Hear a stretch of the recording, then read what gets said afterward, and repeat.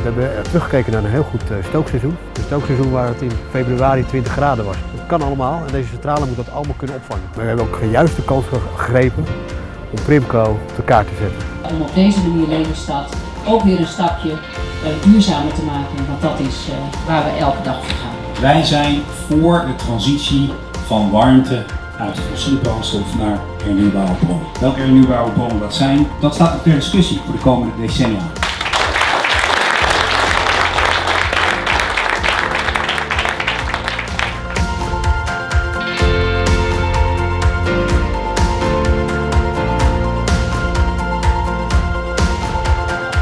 Ben heel trots als wethouder Lelystad dat wij zo'n mooie biomassa-centrale in onze stad hebben die op zo'n mooie duurzame manier werkt.